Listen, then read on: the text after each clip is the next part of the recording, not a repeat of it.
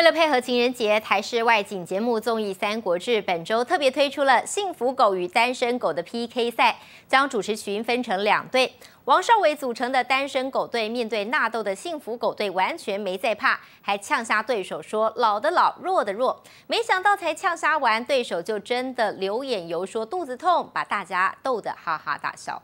单身狗 VS 幸福狗的 PK 赛，台视综艺《三国志》情人节企划，特别把主持群分成单身狗和幸福狗，要来个大 PK。纳豆、赵正平、花花等人组成的幸福狗队，遇上战力满点的单身狗，还没开战，先接招。幸福吗？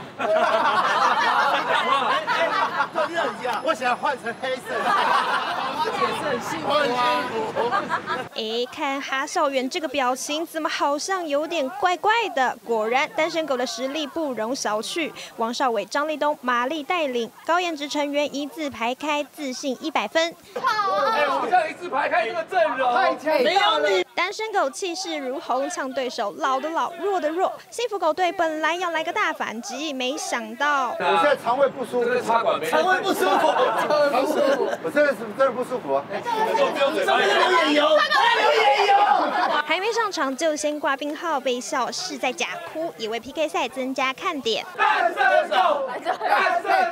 两队完成所有关卡，互不相让。结果究竟是单身狗会赢，还是幸福狗拿走胜利？别忘了锁定晚间八点综艺《三国志》，借台北综报道。